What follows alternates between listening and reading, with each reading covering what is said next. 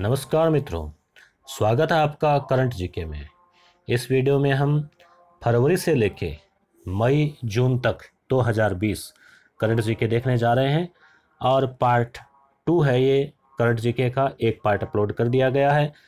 GDP वृद्धि दर चार दशमलव दो प्रतिशत सीएसओ का अनुमान है। सीएसओ यानी सेंट्रल स्टेटिस्टिक्स ऑर्गेनाइजेशन केंद्रीय सांख्यिकी संगठन के द्वारा, यानी सीएसओ जो है ना दोस्तों, ये ही आंकड़े जारी करता है। नाम ही सांख्यिकी संगठन है और एनएसएसओ नेशनल सैंपल सर्वे वो बेरोजगारी, गरीबी, उसके आंकड़े जारी करता है। राष्ट्रीय आय के आंकड़े जो है सीएसओ जारी करता है।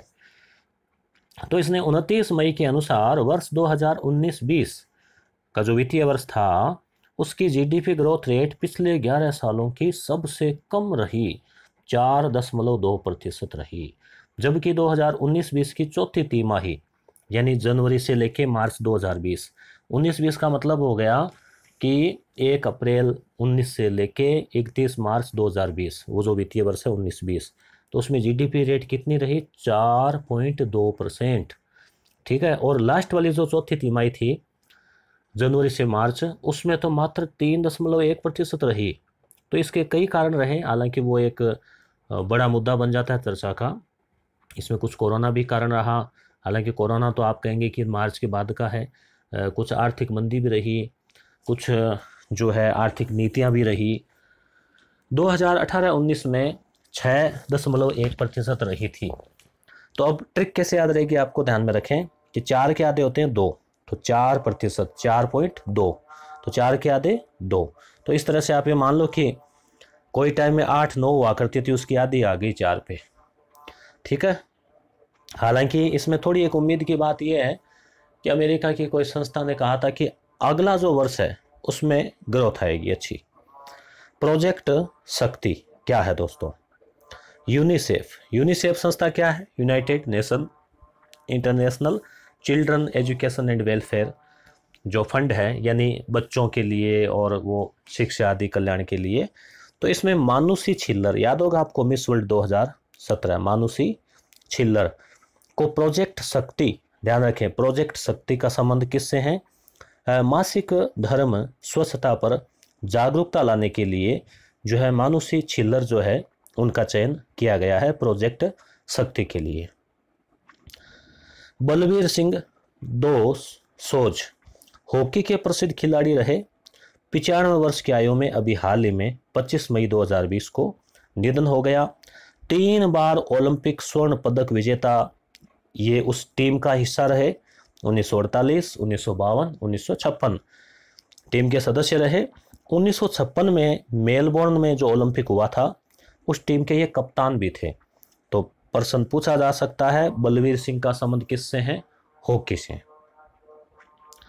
गोविंदा राजुलू चिंताला। तो गाना भी ना, गोविंदा आला रे, गोविंदा आला। तो अब कोई चिंता की बात नहीं है, क्योंकि अब नाबार्ड के अध्यक्ष बन गए हैं। ट्रिक है याद रखने की। तो नाबार्ड क्या है दोस्तों, आपको पता होगा, नेशनल। एन यानी नेशनल बैंक फॉर ए यानी एग्रीकल्चर, आर मतलब रूरल, डी यानी डेवलपमेंट।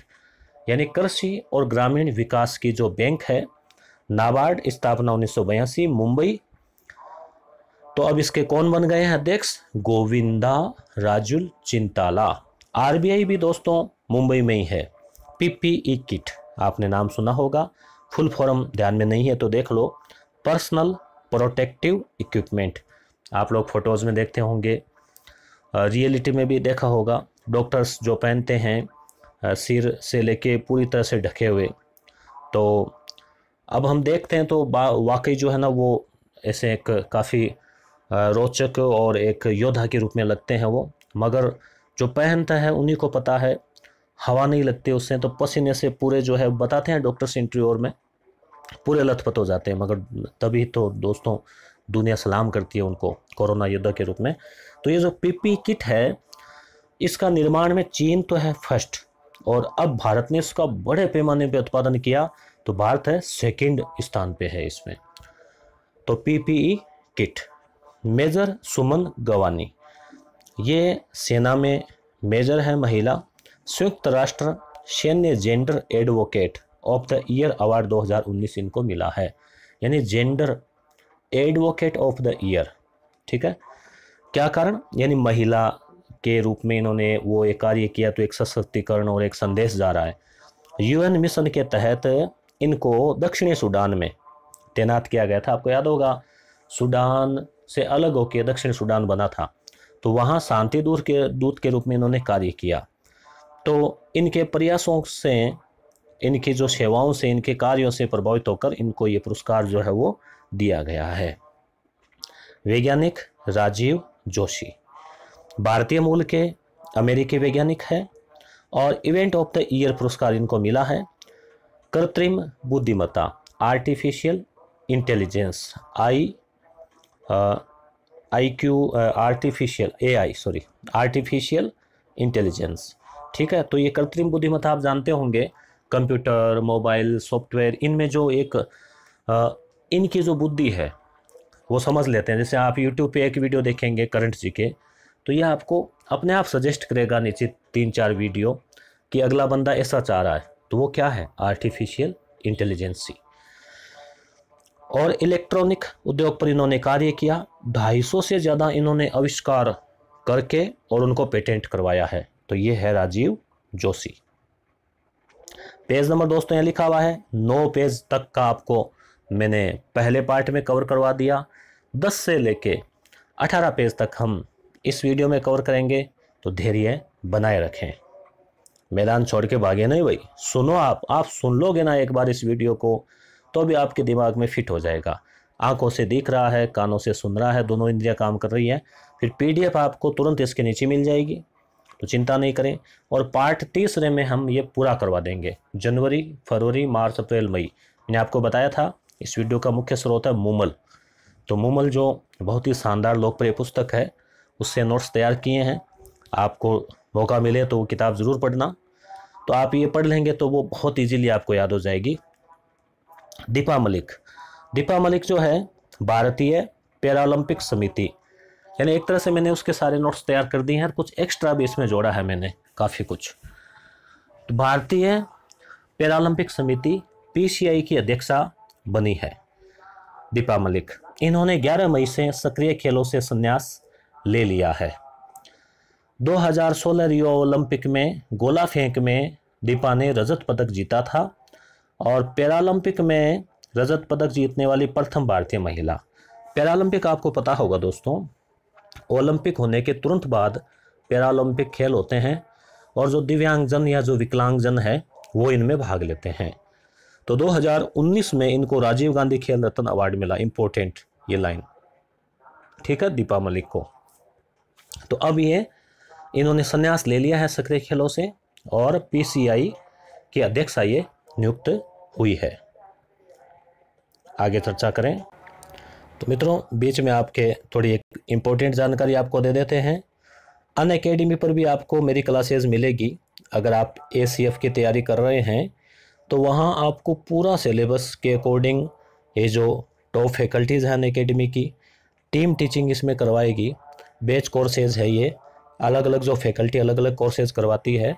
मैं इसमें राजस्थान जियोग्राफ़ी और इंडियन जियोग्राफ़ी जो है, वो करवाऊँगा। तो आप ये जो कोर्स है, वो देख सकते हैं। अन अकेडमी एक बहुत बड़ा एजुकेशन प्लेटफॉर्म है, जहाँ बहुत सारी फ्री क्लासेज भी है स्पेशल क्लास के नाम से, और कुछ पेड कोर्स भी है जो प्लस के नाम से हैं। ये सारे कोर्सेज आपको प्लस पे मिलेंगे। और एक आर एस का बेच भी इस पे है, जो बेच कोर्स है, उसमें भी मैं जो करंट जीके है, वो उसमें मैं टीचिंग करवाऊँगा। इसमें भी ये फैकल्टीज़ है, जो ये कोर्स चल रहा है तो आप प्ले स्टोर से अन अकेडमी ऐप लोड करें और उसमें आप मेरा नाम सर्च करें तो आपको मेरी क्लासेज वहाँ पे मिल जाएगी। और अगर आप प्लस सब्सक्रिप्शन चाहते हैं तो वहाँ कोड आप यूज़ करके एम के ढाका और आप जो है दस परसेंट डिस्काउंट उसमें पा सकते हैं। धन्यवाद। तो हम बात कर रहे थे टी एस तिरुमूर्ति। ये यूएनओ में भारत के स्थायी प्रतिनिधि नियुक्त हुए हैं। भारत में यूनो, यून में एक तरह से भारत के राजदूत है ये। सैद अकबरुद्दीन का इन्होंने स्थान लिया है एक मई 2020 से। ट्रिक है मूर्ति। देखिए, मूर्ति कहीं रखते हैं तो परमानेंट रखते हैं। तो मूर्ति क्या हो जाती है? स्थायी तो इसे ट्रिक से याद रखें, T S Tirumurti. Adhir Ranjan Chowdhury. Important है, प्रश्न पूछा जा सकता है। संसद की लोक लेखा समिति के अध्यक्ष बने हैं। एक मई 2020 से 30 अप्रैल 2021 यानी एक साल के लिए ये रहते हैं। इसको जन या लोक लेखा समिति या जन लेखा समिति बोलते हैं पीएससी पब्लिक अकाउंट कमिटी इसमें सदस्य होते हैं 22 दो और दो बाईस। ठीक है, पंद्रह लोकसभा से सात राज्यसभा से। कार्य क्या है? सरकार के खर्चों का, लेखों का परीक्षण करना। और सामान्यतः जो विपक्ष का जो होता है दल का, उसी को इसका अध्यक्ष बनाया जाता है। तो लोक लेखा समिति के अध्यक्ष कौन है? अधीर रंजन चौधरी। दिया मिर्ज़ा, याद होगा आपको, कई फ़िल्मों में आपने देखा होगा, एक विवेक ओबेराय की दम फ़िल्म इन्होंने अच्छा अभिनय किया। तो दिया मिर्ज़ा अभिनेत्री है और U N E P United Nation environment programme. उसमें सद्भावना दूत जो है, इनको बनाया गया है। 2022 तक अब ये रहेगी कार्यकाल इनका बढ़ा दिया गया है। फॉर्ब्स की अमीरों की सूची। फॉर्ब्स पत्रिका है अमेरिका की, जो अमीरों की सूची जारी करती है। उसने 100 भारतीय अमेरिकों की सूची जारी की है, जिसमें टॉप में है मुकेश अंबानी, जिनकी संपत्ति है 36 billion dollar. 36.8 billion dollar. Million यानी 10 लाख, बिलियन यानी 100 मिलियन मतलब एक बिलियन। अब सुने सुने आप लगा लेना, फिर डॉलर, एक डॉलर मतलब पिछहत्तर रुपये अब आप कर लेना गुणा आराम से। राधा किशन दमानी, दो नंबर पे, तीन नंबर पे शिव नाडार। तो मुकेश अंबानी जो है, वो लगातार तेरह वर्षों से फ़र्स्ट रैंक पे बने हुए हैं अमीर भारतीयों में। विश्व की बात करें दोस्तों तो विश्व में ये सत्तरवें नंबर पे आते हैं विश्व के अमीर लोगों में। विश्व का एक नंबर अमीर व्यक्ति है जेफ वेजोस, दो नंबर पे है बिल गेट्स। मनोज आहूजा, और अभी तीन नंबर पे तो फेसबुक का आ गया वो, जो है ना, जुकरबर्ग। मनोज आहूजा है सीबीएसई जो केंद्रीय माध्यमिक शिक्षा बोर्ड है सीबीएसई आपको पता होगा ना, राजस्थान में भी सीबीएसई पाठ्यक्रम लागू हो गया है। एनसीईआरटी वाला तो वो सीबीएसई। तो सीबीएसई के नए अध्यक्ष है मनोज आहूजा। तरुण बजाज, आरबीआई के रिज़र्व बैंक ऑफ़ इंडिया है। उसमें गवर्नर तो अलग होता है, एक बोर्ड और होता है, केंद्रीय बोर्ड। उस केंद्रीय बोर्ड के नए निदेशक बने हैं तरुण बजाज। नरेंद्र बत्रा नरेंद्र बत्रा अंतर्राष्ट्रीय हॉकी महासंघ F I H Federation of International hockey. उसके प्रमुख ये बने हैं और आई ओ ए यानी भारतीय इंडियन ओलंपिक एसोसिएशन, उसके भी ये क्या है? प्रमुख है। तो नरेंद्र बत्रा, हॉकी हॉकी से आप जिनको जोड़े, एक बलवीर सिंह का नाम आया था। वो तो निधन हो गया, हॉकी के खिलाड़ी थे। ये अंतर्राष्ट्रीय हॉकी महासंघ के प्रमुख है और भारतीय आईओए के भी प्रमुख है। डॉक्टर हर्षवर्धन, केंद्रीय स्वास्थ्य मंत्री W H O World Health Organization इसका मुख्यालय कहाँ है? जेनेवा। क्योंकि देखो हेल्थ के बिना जीना मुश्किल। तो जेनेवा स्विट्जरलैंड में है। तो डब्ल्यू एच ओ में कार्यकारी बोर्ड के अध्यक्ष चुने गए हैं एक वर्ष हेतु। यानी भारत को चुना गया है। तो भारत की तरफ़ से ये वहाँ काम करेंगे। डब्ल्यू एच ओ का मुख्यालय जेनेवा है। सदस्य एक सौ चौरानवे देश है आ, ये पेज नंबर ग्यारह था, ये पेज नंबर बारह। एथलीट संदीप कुमारी पर प्रतिबंध लगा दिया गया है। संदीप कुमारी, वाडा। वाडा एक एजेंसी है डब्ल्यू ए डी ए विश्व, यानी World Anti Doping Agency. Doping रोधी एजेंसी। डोपिंग क्या होता है? कि जैसे ये खिलाड़ी लोग हैं, इनको अपने शरीर की ताकत, स्टेमिना बढ़ाने के लिए कुछ टेबलेट वगैरह ये ले लेते हैं गोलियाँ वोलियाँ तो जो जिन गोलियों पे प्रतिबंध है कि भाई वो नशे के रूप में आती है, अगर वो इनकी खून में मात्रा पाई जाए तो फिर उनको ये प्रतिबंध लगा देते हैं। तो डिस्कस थ्रोअर संदीप कुमारी पर डोपिंग के चलते, अब सभी तो नहीं करते मगर कोई आ जाते उसमें तो चार वर्ष का प्रतिबंध लगा दिया है। तो संदीप कुमारी, मिजोरम, ये इंपॉर्टेंट है, मैं डबल टिक लगा रहा हूँ, परीक्षा में प्रश्न मिल सकता है। मिजोरम मिजोरम। खेल को उद्योग का दर्जा देने वाला भारत का पहला राज्य है। जैसे पर्यटन को उद्योग का दर्जा देने वाला राजस्थान राज्य है, उसी तरह से खेल को उद्योग, यानी खेल को भी एक इंडस्ट्री का दर्जा देने से एक तो खेल का विकास होता है और खेलों को बढ़ावा मिलता है और सरकार को भी बेनिफिट होता है। तो ट्रिक क्या है? रम। मिजोरम है ना लास्ट में? तो रम एक तो वो जो लोग लेते हैं वो एक अपने मारवाड़ी में, राजस्थानी भाषा में रमना बच्चे खेलते हैं ना, कहते हैं बच्चे रम रहे हैं। बच्चा रम है, खेल है पूरा दिन। तो रमना तो रम यानी खेलना। तो आराम से मिजोरम रम यानी खेलना बस रमना खेलना। ठीक है, भारतीय विवाद समाधान केंद्र। ये इसका गठन नई दिल्ली में किया गया है। उद्धव ठाकरे, याद होगा आपको तो दोस्तों, उद्धव ठाकरे जो है, वो 28 नवंबर 2019 को एमएलए बने बिना ही सीएम बने गए थे महाराष्ट्र के। पता ना आपको? तो ऐसा हो सकता है। विधायक बने बगैर भी छः महीने तक रह सकते हैं। तो 14 मई 2019 को अब क्या है ये? विधायक जो है ना, बन गए हैं। तो छः माह तक अनुच्छेद एक ये कहता है कि छः महीने तक जो है वो रह सकते हैं, मगर छः महीने के अंदर अंदर उनको किसी भी सदन का सदस्य बनना ज़रूरी होता है। तो उद्धव ठाकरे ने अब क्या किया है कि विधान परिषद से निर्वाचन ले लिया है। क्योंकि देखो, विधानसभा के लिए तो एमएलए के उस टाइम इनको चुनाव लड़ना पड़ता। वहाँ आम पब्लिक वोट देती। विधान परिषद के चुनाव बीच बीच में होते रहते हैं। तो इन्होंने वहाँ से जो है वो ले लिया है। तो अब ये सीएम के रूप में अब कार्य कर सकते हैं। अगर ये नहीं जीतते तो इनको त्यागपत्र देना पड़ता। विधान परिषद दोस्तों, अब पाँच ही जो है वो राज्यों में बची है। पहले सात थे, एक तो अब जम्मू कश्मीर हट गया, एक तेलंगाना ने भी प्रस्ताव पारित करके हटा दिया है। तो राज्य आप याद कर लो बुकाम ठीक है? पहले था टीबी जुकाम, अब आप बुकाम याद रख लो बुकाम ठीक है? तो बिहार, यूपी, कर्नाटक, आंध्र प्रदेश और महाराष्ट्र, यहाँ पर दो सदन है, विधान परिषद और विधान सभा। गैस रिसाव खंड लो भाई, कर लो बात, कहाँ हो गया? एलजी पॉलीमर लिमिटेड कंपनी द्वारा लापरवाही से लापरवाही से उसके संयंत्र से।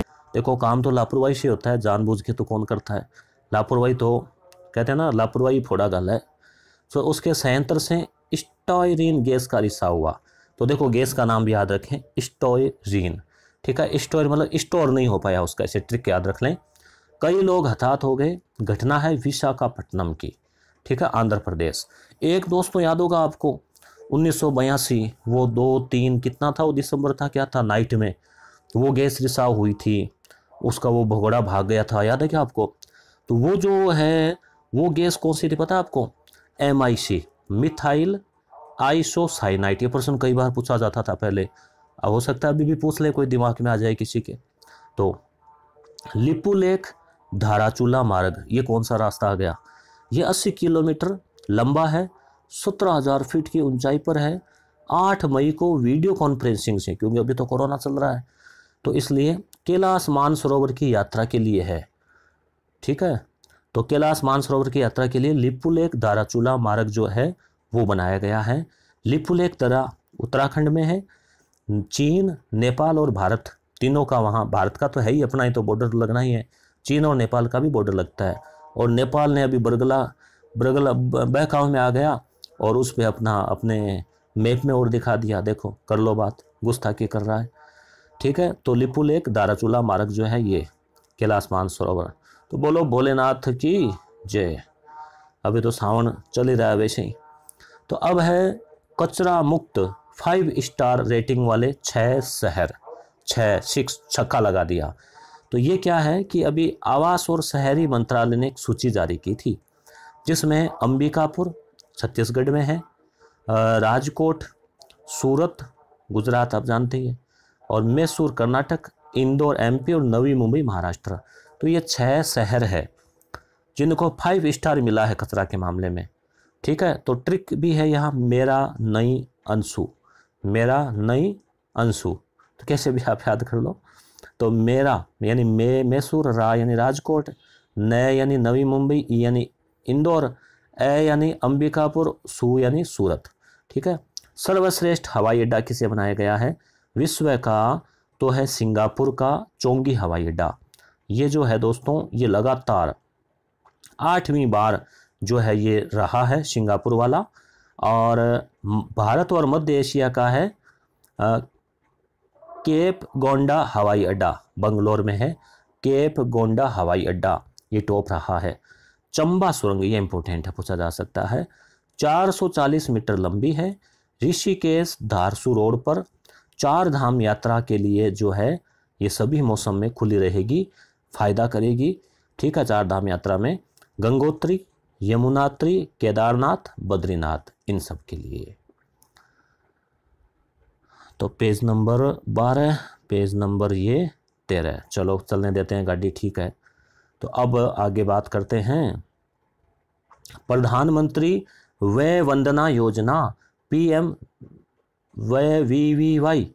इसे तीन वर्ष वय वंदन, यानी जो वयवृद्ध लोग हैं, उनकी वंदना, यानी उनका भविष्य सुरक्षित हो रिटायरमेंट के बाद बुढ़ापे में तो इसके लिए ये योजना चलाई गई थी।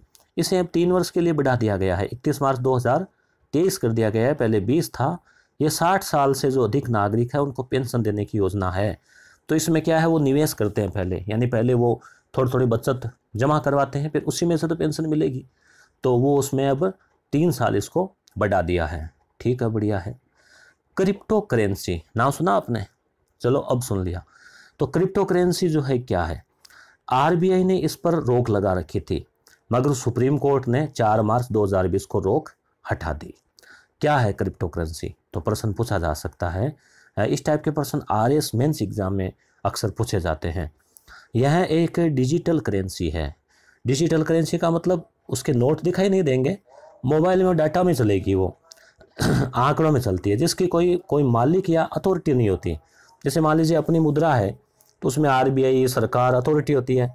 यह कंप्यूटर एल्गोरिदम पर आधारित है। सर्वप्रथम 2009 में जापान के इंजीनियर सतोशी नागमोतो। तो अपने सतोशी को अपने हिंदी में ट्रांसलेट कर लो संतोषी याद रख लो। संतोषी नाग मोतो ठीक है, ने बिटकॉइन नामक क्रिप्टो करेंसी बनाई। बिट कोइन तो बिट कोइन क्या है? पूछा जा सकता है। जैसे कंप्यूटर क्षेत्र में, इकोनॉमी में कहीं से पूछा जा सकता है। तो यह डिजिटल वॉलेट में रखी जाती है। जैसे पेटीएम वगैरह में अपने रुपए रखते हैं अपन, हालाँकि वो तो इंडियन रुपीज़ है, मगर ये डिजिटल रूप में रहती है। और इसका लेन देन ही डिजिटली होता है। इसे इसमें निवेश भी किया जा सकता है कि जैसे मान लो शेयर वगैरह खरीदते हैं ना, वैसे इसको खरीद ली, फिर इसके रेट बढ़ गई। ऐसे कहते हैं कि दिन में कई बार इसकी हज़ारों बार रेट ऊपर नीचे होती रहती है। तो हालाँकि ज़्यादा सेफ़ तो नहीं है इसमें निवेश, मगर लोग करते हैं, क्योंकि इसमें कोई सिक्योरिटी नहीं है, कोई इसकी अथॉरिटी नहीं है। अगर कोई धोखाधड़ी होगी तो कोई सुनने वाला नहीं है। अन्य उदाहरण है जैसे बिटकॉइन के अलावा रेड कोइन सिया कोइन आदि इसके जो है वो क्रिप्टो करेंसी है। लोग करते हैं इसमें निवेश करने वाले। नौसेना में महिलाओं को स्थायी कमीशन दे दिया गया है। सुप्रीम कोर्ट एससी ने इसका आदेश देकर लैंगिक भेदभाव को समाप्त कर दिया है। अब इसकी नियुक्ति शॉर्ट टर्म यानी कोई महिला जब नेवी में जाती थी तो शॉर्ट टर्म के लिए ही नियुक्ति होती थी चौदह साल के लिए। उसके बाद में उनको आवश्यक रिटायरमेंट लेना पड़ता था, मगर अब ऐसा नहीं है। अब वो लॉन्ग टर्म यानी स्थायी भी हो सकेगी और आगे अपनी सेवाएँ दे सकेगी। और साथ ही साथ उनको जैसे युद्ध पोत आदि पे भी जो है वो भेजा जाएगा। स्वच्छ भारत मिशन 2 अक्टूबर 2014 को प्रारंभ हुआ था, सभी जानते हैं। और 2019 तक यानी पाँच साल जो है इसमें क्या करवाया गया? 10 करोड़ शौचालय बनाए गए। इसका दूसरा चरण अब प्रारंभ कर दिया गया है। 2024 तक, यानी 19 से फिर 20 इक्कीस, बाईस, तेईस, चौबीस, पाँच साल और इसमें एक लाख चालीस हज़ार आठ सौ इक्यासी करोड़ रुपए व्यय का लक्ष्य रखा गया है। ठोस और तरल अपशिष्ट प्रबंधन पर फोकस रखा गया है, यानी जो ठोस है और तरल जो अपशिष्ट है, कचरा वगैरह है, उसका प्रबंधन, उसका पुनर्चक्रण और उससे उसका जो है ना उपयोग, चाहे बिजली बनाना या कोई और। अनुदान इसमें साठ चालीस है। राज्यों के लिए। यानी अगर इस प्रकार का कोई कार्य होता है तो केंद्र सरकार 60 परसेंट, राज्य 40 परसेंट, ये लगभग सभी योजनाओं में है, दोस्तों 2016 से। पूर्वोत्तर के जो राज्य है जिसमें वो सेवन सिस्टर आदि तो उनको नब्बे दस का है और केंद्र शासित प्रदेशों को सौ परसेंट केंद्र सरकार देती है। नाम ही केंद्र शासित है। विधि आयोग। नाम ये विधि मतलब कानून। तो गैर सांविधिक है, ध्यान रखना पहली बात तो ये, पॉलिटिकल का क्वेश्चन। पहला कब बना विधि आयोग? 1955 अध्यक्ष कौन थे? श्री मोतीलाल चिमन लाल शीतलवाड़। ठीक है, ये प्रश्न कई बार पूछा गया है। शीतलवाड़ याद रखें। ठीक है, इक्कीसवां 2015 से 18 तक बना विधि आयोग था। इक्कीसवां विधि आयोग तीन साल के लिए, पंद्रह से अठारह। और अध्यक्ष थे जस्टिस बी एस चौहान। और अब बाईसवां जो है दो हज़ार अठारह से इक्कीस का इसका कार्यकाल रहेगा। तो इसमें क्या है, वो सन तो वो पहले वाला चलता है, मगर वो बीच में गठित कर देते हैं। तो कार्यकाल तीन वर्ष का होता है। अब इसके गठन को मंजूरी दे दी है एक अध्यक्ष और चार सदस्य होंगे। अध्यक्ष का नाम अभी आया नहीं सामने, आएगा तो आपके सामने हम भी ले आएँगे। ठीक है, अब आगे चलते हैं। हाँ आगे है पदोन्नति में आरक्षण। तो कैसे इंटरेस्ट तो आ रहा ना आपको पढ़ने में? भाई देखो, पढ़ाई में तो ऐसा ही इंटरेस्ट आएगा। बाकी इससे ज़्यादा इंटरेस्ट फिर वो फ़िल्मों में व्हाट्सअप चैटिंग पर उन्हीं में आता है। तो देखो, पदोन्नति में आरक्षण।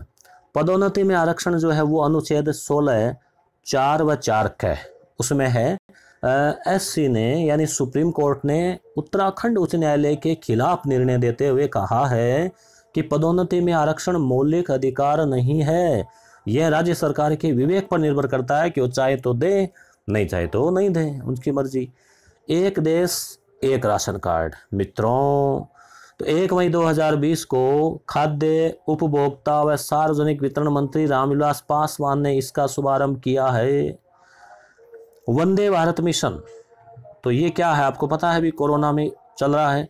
लॉकडाउन के कारण विदेशों में जो लोग फंसे हुए हैं, भारतीय, उनको विशेष विमानों से भारत वापस लाने की जो मुहिम चलाई गई है, उसे वंदे भारत जो है मिशन कहा गया है।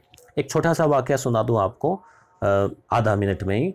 लॉकडाउन के दौरान अभी हमारी ड्यूटी लगी हुई थी तो एक कोई नौजवान गाड़ी से उतरा, हमने पूछा अभी कहाँ जा रहे हो?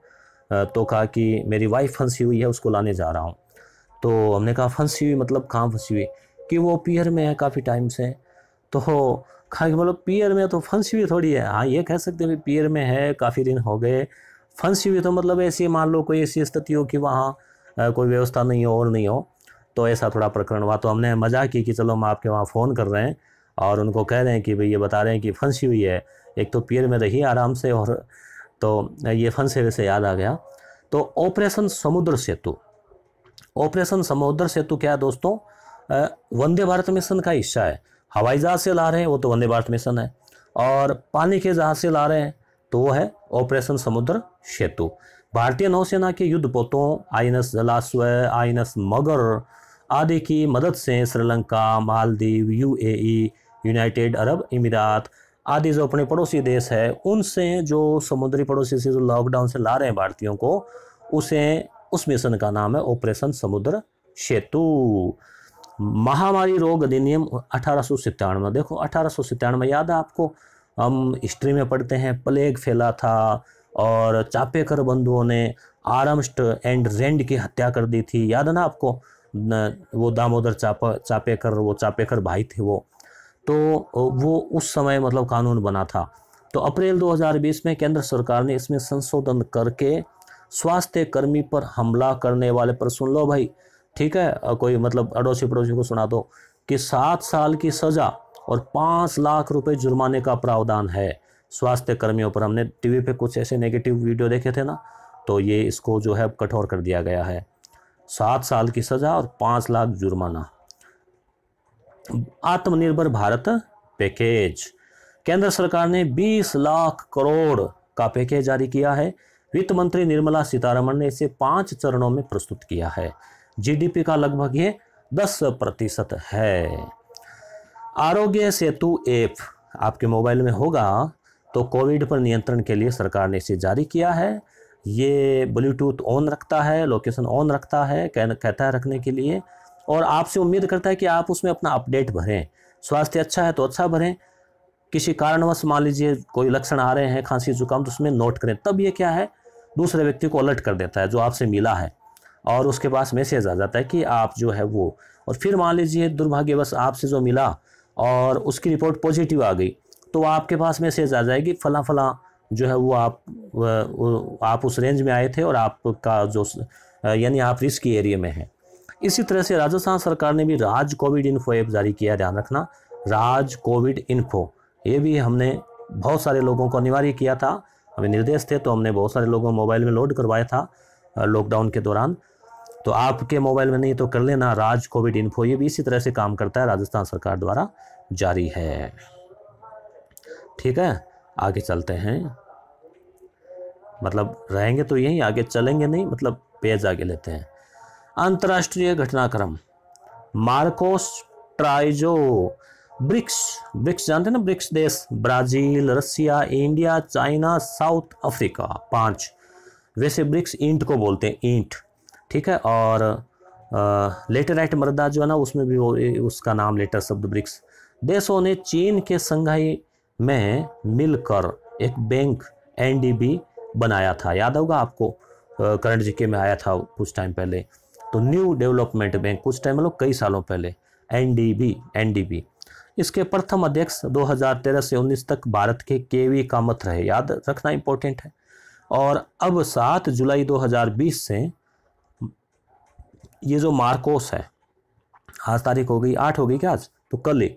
बने हैं ये मार्कोस एनडीबी के नए अध्यक्ष बन गए हैं मार्कोस ट्राइजो। तो देखो, ट्राइजो, ट्राई, ठीक है, इस तरह से आपको एक ट्रिक से याद रख लेना।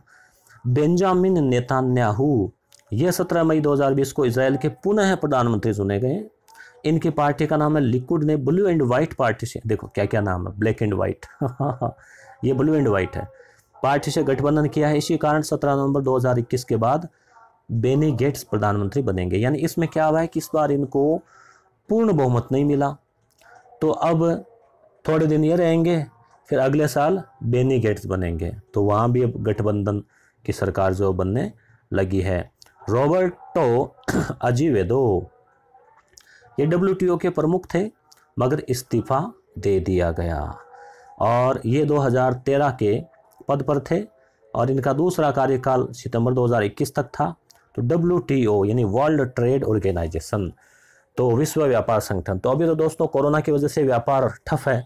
तो आप ट्रिक याद रख लें कि वाह रॉबर्टो अजीवेडो मतलब अजीब आदमी है अजीवेदो अजीब आदमी है, इस्तीफा दे दिया, अजीब आदमी अजीवेदो ठीक है इसे ट्रिक से याद रखें। मुस्तफ़ा एल कदीमी, इराक के नए प्रधानमंत्री।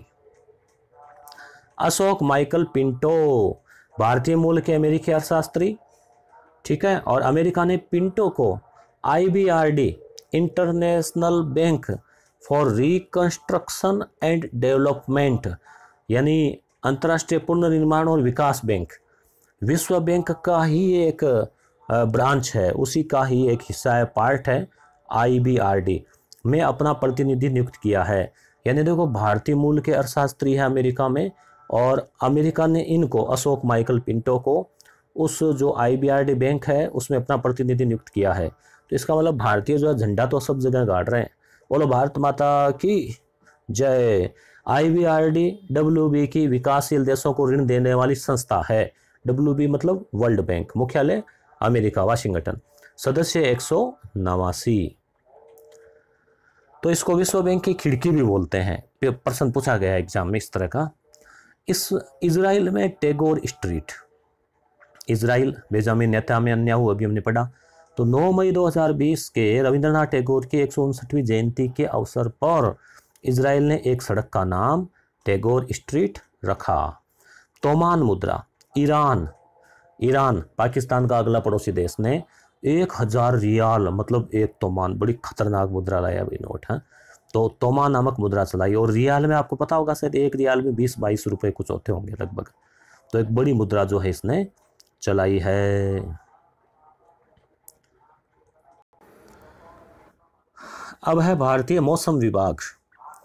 मौसम वैसे ठीक ही आज बारिश हुई है। पीओ के स्थित मुजफ्फराबाद और गिलगित, बाल्टिस्तान।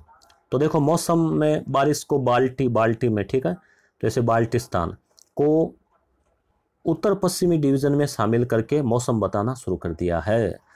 क्योंकि उधर पाकिस्तान के एससी ने, सुप्रीम कोर्ट ने यहाँ चुनाव कराने की अनुमति दी थी। तो हालाँकि वहाँ चुनाव करवाना जो विवादास्पद एरिया इसलिए नहीं करवा सकते। तो भारत ने आपत्ति जताई, फिर भारत ने भी प्रतिक्रिया स्वरूप जो है वो उसको अपने मौसम विभाग में शामिल कर लिया। वैसे देखो पीओ के अपना हिस्सा है। आज नहीं तो कल आएगा अपने पास। विश्व बैंक, इसके अध्यक्ष डेविड मेल पास है। ठीक है? Mail pass fail pass mail pass जबकि उपाध्यक्ष हाल ही में कॉरमैन रेन हार्ट बनी है। कॉरमैन की प्रसिद्ध पुस्तक this time is different, eight centuries of financial folly है। तो ध्यान में रख लें कि विश्व बैंक के अध्यक्ष तो है डेविड मेल पास और उपाध्यक्ष है महिला है कॉरमैन रेनहार्ट। उनकी किताब भी प्रसिद्ध रही है तो ध्यान में रखें। दिस टाइम इज़ डिफरेंट ये समय अलग है। ठीक है? 21 मई। 21 मई को क्या है? भारत के सुझाव पर F A O Food and Agriculture Organization तो कृषि और खाद्य संगठन है ना, मुख्यालय रोम है इसका, शायद इटली में रोम। तो उसने 15 दिसंबर के स्थान पर 21 मई को अंतर्राष्ट्रीय चाय दिवस घोषित कर दिया है। देखो 21 जून तो है योग दिवस और 21 मई है चाय दिवस, क्योंकि मई में ही चाय का उत्पादन होता है, इसलिए सुझाव दिया भारत ने कि भाई ये दिसंबर क्यों कर रखा है, मई कर दो ना। तो उनका, ठीक है, मई कर लो क्यों चाय पीने वाले तो इंडिया में ही है ज़्यादा। ठीक है, नेपाल का नया मानचित्र।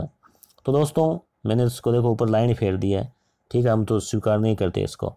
तो 19 मई 2020 उत्तराखंड के कालापानी लिम्पियाधुरा और लिपू लेक को नेपाल ने अपने नए नक्शे में दिखाया है। छोटा मुँह, बड़ी बात। नेपाल के अनुसार 1816 ईस्वी की सुगोली संधि, नाम देखो सुगली, सुगोली संधि के तहत काली नदी के पूर्व क्षेत्र नेपाल के हैं और उसमें, उसके धारा चूल्हे में है धारा चूल्हा तो चूल्हे में पटको इस नक्शे को। भारत के अनुसार उक्त तीनों क्षेत्र उत्तराखंड का पिथौरागढ़ ज़िले में आते हैं। तो ये जो है नेपाल ने एक नया विवाद खड़ा किया है। विश्व प्रेस स्वतंत्रता सम्मेलन। हेग, नीदरलैंड में आयोजित हुआ। विषय था भय और पक्षपात के बिना पत्रकारिता। देखो, पत्रकारिता तो तभी आनंद आता है, एक तो डर नहीं हो। खबर वही जो सच हो, ऐसे बोलते ना, और पक्षपात नहीं हो के बिना पत्रकारिता। ठीक है, तीन मई 2020 विश्व प्रेस स्वतंत्रता दिवस मनाया गया। तीन मई, इक्कीस मई चाय, तीन मई प्रेस स्वतंत्रता। सैन्य खर्चा, देखो दोस्तों क्या क्या आप आइडिया लगाओ। सबसे ज़्यादा खर्चा करता है सेना पे, चाहे वो वेतन हो, चाहे वो उनका साजो सामान पे हो, हथियारों पे हो, अमेरिका, यूएसए। सात सौ बत्तीस बिलियन डॉलर। अब एक डॉलर, पिचहत्तर रुपये और बिलियन मतलब ए, यानी एक मिलियन यानी दस लाख, एक मिलियन और सौ मिलियन मतलब एक बिलियन अब आप जोड़ते रहो कैलकुलेटर निकाल के। दो नंबर पे चीन है, तीन नंबर पे भारत है। इकहत्तर बिलियन डॉलर के साथ तीन नंबर पे भारत है। चौथे पे रूस है पाँचवें पे सऊदी अरब है। और विश्व का लगभग साठ परसेंट जो हिस्सा है, इन पाँच देशों के पास ये खर्च करने का, सेना के मामले में। तो ये है मामला दोस्तों। आगे देखो। यू एन ई सी सी सी ये है छब्बीसवां कोप। अब आप कहेंगे, क्या सी सी देखो यूएन राष्ट्र ई यानी इन्वायरमेंट जलवायु। अब ये जो तीन सी है ना, एक सी का मतलब हो गया conference on climate change conference यानी framework climate conference on climate change यानी जलवायु में जो परिवर्तन हो रहा है। जैसे तापमान बढ़ रहा है ग्लेशियर पिघल रहे हैं, जिसे कहते हैं ग्लोबल वार्मिंग उसके लिए है ये यू एन ई सी सी सी। तो उसका जो सम्मेलन है छब्बीसवां छब्बीसवां कोप कॉन्फ्रेंस ऑफ़ पार्टी उसका अध्यक्ष ब्रिटेन है, ध्यान रखना। ठीक है? कोविड के कारण उसका आयोजन ग्लास्को में होना था, मगर हो नहीं पाया। ठीक है? ग्लास्को यूके में होना था, हो नहीं पाया। तो फिर यहाँ कोई प्रश्न बनता नहीं है कि होना था, हो नहीं पाया। जानकारी के लिए ध्यान में रखो। ग्यारहवा पीटर्सबर्ग जलवायु संवाद, ध्यान में, ये इंपॉर्टेंट ध्यान में रखें। पीटर्सबर्ग जलवायु संवाद। ये सत्ताईस अट्ठाईस अप्रैल को वीडियो कॉन्फ्रेंस के द्वारा, अब आजकल तो यही हो रहा है अब कोरोना की वजह से, क्योंकि वर्चुअल है ना तो मेज़बानी जर्मनी ने की। देखो, पीटर्सबर्ग वैसे रूस में है, मगर मेज़बानी जर्मनी ने की। भारत की ओर से केंद्रीय पर्यावरण मंत्री प्रकाश जावड़ेकर शामिल हुए कैसे? वीडियो के माध्यम से। विश्व प्रेस स्वतंत्रता सूचकांक, के भी विश्व में प्रेस को कितनी आज़ादी है? तो 180 देशों में भारत को एक सौ बयालीसवां स्थान जो है मिला। अब हालाँकि उनके मानक क्या रहे होंगे? अपने तो अपने को तो ये लगता है कि भाई प्रेस यानी मीडिया है पूरी स्वतंत्र है। जो इच्छा है, वो नेताओं के, चाहे वो किसी भी प्रकार का मामला हो, वो छाप सकती है, उसमें कोई नहीं है। पर फिर भी इनके क्या मानक रहे पता नहीं। फ़र्स्ट नार्वे है 180 पे उत्तर कोरिया। भारत का तिरंगा मेटर हॉर्न पर। आप लोगों ने अखबारों में, टीवी में देखा होगा भारत का तिरंगा जो है ना कोविड 19 में भारत की जंग के प्रति सम्मान देने हेतु स्विट्जरलैंड ने अपने सबसे ऊँचे पर्वत मेटर हॉर्न देखो हॉर्न बजाते हैं ना हॉर्न तो ये हॉर्न याद रखें, पर रोशनी से करीब एक हज़ार मीटर बड़ा, यानी एक किलोमीटर बड़ा तिरंगा बनाया। वो लाइट से डेकोरेशन से उन्होंने दिखाया और पूरी दुनिया ने देखा। बड़ा रोमांचक, आनंददायक नारा था। बोलो, भारत माता की जय। 18 अप्रैल की घटना ये जेफ बेजोस, ये फॉर्ब्स की सूची में विश्व के सबसे अमीर व्यक्ति है। बिल गेट्स हुआ करते थे। अब जेफ बेजोस आ गया। नाम में जोश नहीं है, मगर दाम में जोश है। अमेजन, आप सामान मंगवाते हो ना अमेजन? उसके संस्थापक है और उसके सीईओ है, चीफ एग्जीक्यूटिव ऑफिसर। संपत्ति देखो 113 बिलियन डॉलर। और बिल गेट्स की अठानवे बिलियन डॉलर। और सत्रहवा स्थान विश्व पे मुकेश अंबानी का, चवालीस बिलियन डॉलर। अभी ये कोरोना में कुछ कम भी हो गई इनकी। सुदर्शन बाबू, भारतीय मूल के अमेरिकी वैज्ञानिक है। अमेरिकी राष्ट्रीय विज्ञान बोर्ड में सदस्य नियुक्त किए गए हैं। उन्नीसवें एशियाई खेल आयोजन होगा, ज़रूर होगा। होंग झाओ में होगा होंग झाओ कहाँ? चीन। हालाँकि डर तो लगेगा चीन जाने से। खिलाड़ियों को शुभंकर है स्मार्ट ट्रिपलेट्स। तीन रोबोट है ये छोटे छोटे उनको ट्रिपलेट्स बोला गया है। 10 से 25 सितंबर 2022 में जो है वो इसका आयोजन होगा। उन्नीसवें एशियाई खेल यानी एशिया के इसमें देश भाग लेते हैं। तो दोस्तों ये है आज का लास्ट पेज तो थोड़ा धैर्य रखें। आ, ये हो गया था आपने महामारी सब देख लिया था ठीक है। तो ये लास्ट पेज है। एशियाई पैरा खेल। पैरा आप जानते हैं पैरा ओलंपिक। जैसे एशियाई खेल होंगे उसके ठीक बाद पैरा खेल होंगे एशियाई आयोजन वही हांग जाऊ ठीक है? Hangzhou Zhou. कौन जाएगा पता नहीं। ठीक है, शुभंकर फेई फेई। नाम देखो चाइनीज़ भाषा के। पक्षी है ये बात छोटा सा, उसको फेई फे बोलते हैं। मार्च 2020 की घटना। कैटरीना सेकेरो पाउलो, यूनान की महिला राष्ट्रपति बनी है। यूनान है ना? ग्रीस, यूनान। आता ना यूनान, मिस्र, रोमा, मिट गए सारे। मिट गए जहाँ से कुछ हस्ती है कि मिट्टी नहीं, हमारी सारे जहाँ से अच्छा हिंदुस्तान हमारा। तो यूनान जो है ना, वो यूनान ग्रीस, उसकी पहली महिला राष्ट्रपति बनी, अभी तक वहाँ नहीं बनी राष्ट्रपति महिला, जबकि इंडिया इस मामले में बहुत आगे चौदह मार्च 2020 को ये वहाँ की पूर्व न्यायाधीश है, केटरीना याद रखें। जय बांग्ला जय बांग्ला। ठीक है, ये बांग्लादेश का राष्ट्रीय नारा है। ठीक है, और ये कैसे अभी आया चर्चा में? शेख मुजीबुर रहमान, पीएम मोदी ने 17 मार्च 2020 को बांग्लादेश के राष्ट्रपिता, संस्थापक शेख मुजीबुर रहमान की सौवीं जयंती राष्ट्रपिता वो जो माने जाते हैं गांधी जी की तरह तो सौवीं जयंती जयंती मतलब जन्म शताब्दी और मृत्यु वाले को बोलते हैं पुण्यतिथि। तो जयंती में वर्चुअल रूप से शामिल हुए तो इनको बंग बंधु कहा जाता है, वहाँ के फ़र्स्ट राष्ट्रपति और इनकी फिर वो पुत्री है शेख हसीना, वो भी रही। तो ये उन्नीस सौ इकहत्तर में जो है बांग्लादेश की आज़ादी में इनकी बड़ी भूमिका थी। तो इन्होंने उस समय नारे लगाए थे जय बांग्ला के। तो अब जय बांग्ला को जो है ना, वो जोय बांग्ला, ऐसे वहाँ बांग्ले भाषा में जोय बोलते हैं जय को तो वो जो है वो नारा लगाया है, राष्ट्रीय नारा। अदनान जुल्फी इराक के नए पीएम, राष्ट्रपति है वरहाम साले है। बिल गेट्स बिल गेट्स पे 1977 में अपने दोस्त पॉल एलन के साथ मिलकर माइक्रोसॉफ्ट कंपनी की स्थापना की। और कंप्यूटर जगत में जगत में जो बहुत बड़ी क्रांति आई तो बिल गेट्स की वजह से, इनकी कंपनी की वजह से आई। विंडो आप चलाते ना विंडो सॉफ्टवेयर कंप्यूटर में, इन्हीं की देन है। 2000 ईस्वी में क्या किया है? 200 लिख दिया दो हज़ार, याद रखना आप 2000 सन 2000 ईस्वी में 20 साल पहले, अपनी पत्नी का नाम है मेलिंडा तो उनके साथ मिलकर Bill and Melinda Gates Foundation की स्थापना की। और अपनी संपत्ति का बहुत बड़ा हिस्सा इन्होंने दान कर दिया, जिसमें विश्व में जो महामारी है, बीमारियाँ हैं, उनके उन्मूलन के ये लिए डोनेशन करते हैं ये। और पुरस्कार भी देते हैं इस नाम से। मोदी जी को भी मिला था अभी पुरस्कार। अलवर की वो एक बालिका थी, उसको भी मिला था।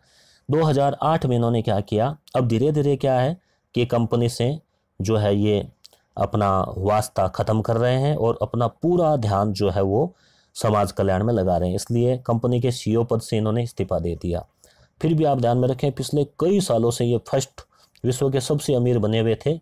अब हाल ही में एक दो सालों में बीच बीच में जो है जेफ बेजोस ये बन रहे हैं। वर्तमान में सीईओ भारतीय मूल के हैं सत्य नडेला, ध्यान में रखें, सत्य नडेला। और 14 मार्च 2020 को इन्होंने कंपनी के बोर्ड ऑफ़ डायरेक्टर से भी इस्तीफा दे दिया। तो वैसे करते करते ये मुझे लगता है कि पूरा संन्यास लेने वाले हैं। फोर्ब्स की सूची में विश्व के दूसरे अमीर व्यक्ति है अभी भी फ़र्स्ट जेफ बेजोस है, इसकी हमने भी बात की ही थी। वर्ल्ड हैप्पीनेस रिपोर्ट 2020 फ़र्स्ट है इसमें फिनलैंड हैप्पीनेस का मतलब प्रसन्नता खुशी। लोग कहाँ खुशी महसूस करते हैं? तो फ़र्स्ट है इसमें फिनलैंड। फिनलैंड जो ना, फिनलैंड, नॉर्वे स्कैंडिनेवियन देशों में, उधर उस साइड में। और भारत का स्थान है एक सौ चवालीसवां। पाकिस्तान का छियासठवां चीन का चौरानवेवा। मानक प्रति व्यक्ति आय, उदारता कैसी है उनमें, भ्रष्टाचार का क्या लेवल है, सामाजिक सहयोग कितना है, उनको सामाजिक स्वतंत्रता कितनी है, स्वास्थ्य कैसा ऐसे कुछ मानक के आधार पे ये रिपोर्ट जारी की गई थी, जिसमें कि भारत का स्थान एक है और 20 मार्च वर्ल्ड हैप्पीनेस डे के रूप में मनाया जाता है। तो दोस्तों, वीडियो अच्छा लगा होगा धन्यवाद। इसका पार्ट थ्री कल आएगा और उसके साथ ही अपना ये जो मुमल का जो ये चैप्टर है, चार महीने का वो पूरा हो जाएगा।